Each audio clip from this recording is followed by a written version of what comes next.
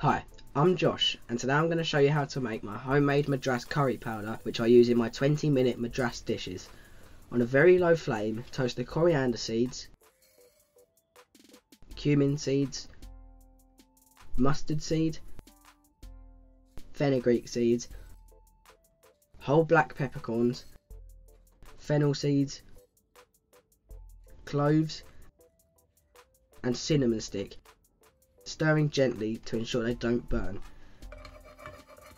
When ready, turn off the heat and tip onto a plate and allow to cool. Tip the cool hard spices to a blender and pulse blend until you get a fine powder. Now add in the turmeric powder, chili powder, Kashmiri chili powder and salt and grind again to mix into a fine powder. Store in an airtight container for use whenever you want to make my 20 minute madras. Please remember to like and subscribe and check out this and many more recipes on my website at thecurrykid.co.uk.